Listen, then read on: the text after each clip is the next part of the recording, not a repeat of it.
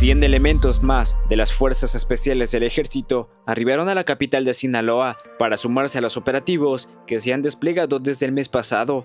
con el inicio de las confrontaciones violentas de dos grupos rivales, los cuales se sumarán a los contingentes enviados en los meses de julio, agosto y septiembre pasado. El nuevo personal militar especializado forma parte de los recientes acuerdos suscritos con el secretario de la Defensa Nacional, general Ricardo Trevilla Trejo, y el secretario de Seguridad y Protección Ciudadana, Omar García Garfuch, en la reunión celebrada hace unos días en la novena zona militar, con la asistencia del gobernador Rubén Rocha Moya, la Secretaría de Seguridad Pública del Estado dio a conocer que este nuevo contingente de 100 elementos de las Fuerzas Especiales provenientes de la Ciudad de México arribaron vía aérea a la capital del Estado, los cuales van a apoyar al personal desplegado por los tres niveles de gobierno